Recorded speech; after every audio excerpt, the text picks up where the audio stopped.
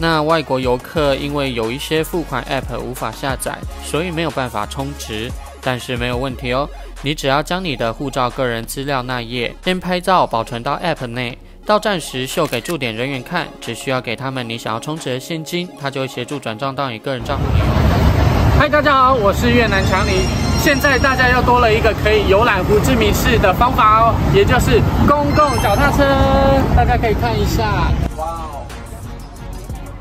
那这是胡志明市首度开放公共脚踏车给大家哦。那它开放的日期是十二月十六。那据常理了解，它搭乘一次呢只要五千越南盾。那总共时长你就可以骑三十分钟哎。那它一共有四十三个站点。那大家就是可以看地图。那它其实也可以透过 App 来查看现在每一个站点的那个脚踏车剩余的数量是多少，所以你也不用怕白跑一趟。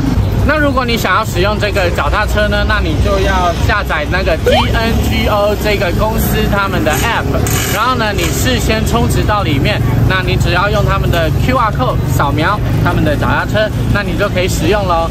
那现在强尼呢，马上就来帮大家使用看看，然后比较一下跟台湾的 U Bike 有什么不同，那或者是跟着我一起骑着脚踏车，简单逛一下胡志明市吧，Let's go。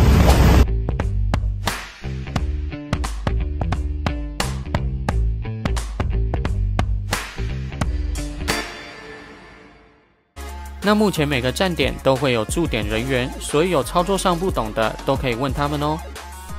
那外国游客因为有一些付款 App 无法下载，所以没有办法充值，但是没有问题哦。你只要将你的护照个人资料那页先拍照保存到 App 内，到站时秀给驻点人员看，只需要给他们你想要充值的现金，他就会协助转账到你个人账户里哦。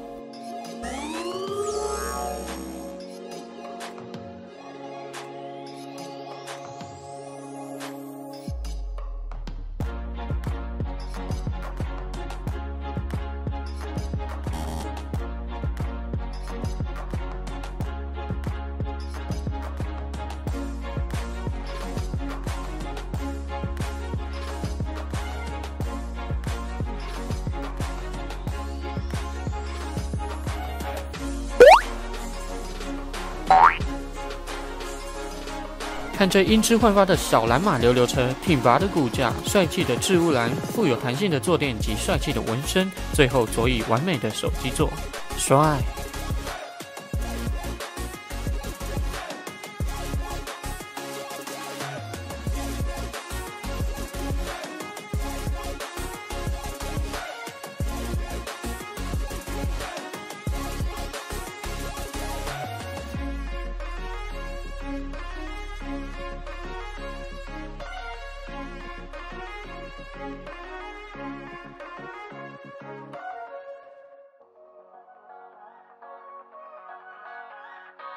App 可以随时查看这一承租的时数与金额，也可以找每一个站点剩余可租的车辆数哦。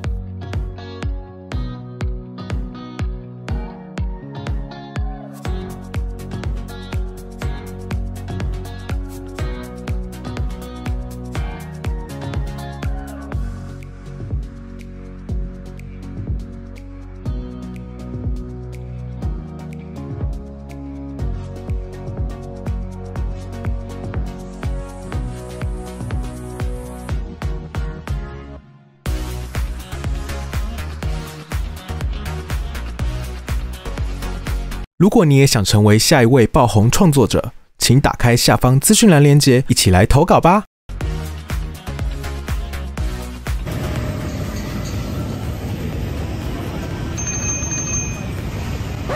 好，那这就是强尼帮大家那个试乘一下那个越南胡志明市首次开放的公共脚踏车的一个记录哦。那其实呢，它跟我们的 U Bike 比起来呢，就是其实都差不多啦，只是因为它真的是五千块越南盾，相当于台币六块钱就可以骑那个三十分钟。